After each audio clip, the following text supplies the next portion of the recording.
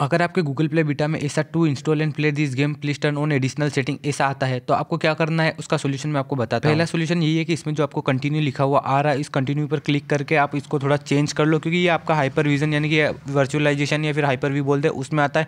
तो आपको इसको कंटिन्यू पर क्लिक करके यहाँ पर एक ओके वाला ऑप्शन पूछेगा आपसे तो उस ओके वाले ऑप्शन पर क्लिक कर देना है। इतना होने के बाद आपको थोड़ी देर वेट करना पड़ेगा क्योंकि थोड़ी देर में वो ऑटोमेटिकली हो जाएगा। और अगर आपका फिर भी नहीं होता है पाँच से सात मिनट के बाद भी तो आपको यहाँ पर येलो येलो कलर में जो लिखा हुआ आता है तो उस पर एक बार आपको क्लिक कर देना। उस पर एक बार क्लिक करोगे तो आपसे कोई ऐसा फिर से कंटिन्यू वाला ऑप्शन देख जाएगा। या फिर अगर इस तरीके से भी आपका नहीं होता है तो एक तरीका मैं आपको बोलकर सुना देता हूँ। वो है आपको जाना है आपके विंडो की सर्च बार में और वहाँ पर आपको लिखना विंडो फीचर टर्न ऑन और ऑफ़ इस तक आपका हाइपर वी वाला आ जाएगा तो आपको हाइपर वी वाले को ऑफ़ कर देना hyper V virtualization machine platform और वहाँ पर कुछ पाँच से सात फ़ंक्शन रहेंगे तो आपको उनको पाँच से सात फ़ंक्शन को ऑफ़ कर देना आप गूगल प्ले गेम्स में तो डायरेक्ट कंटिन्यू वाला ऑप्शन आता है तो आप जैसे ही उस पर कंटिन्यू क्लिक कर दोगे तो उसके बाद आपका सोल्यूशन ऑटोमेटिकली हो जाएगा। इसके लिए बस आपको एक बार पीसी रिस्टार्ट करना पड़ेगा थोड़ी देर बाद।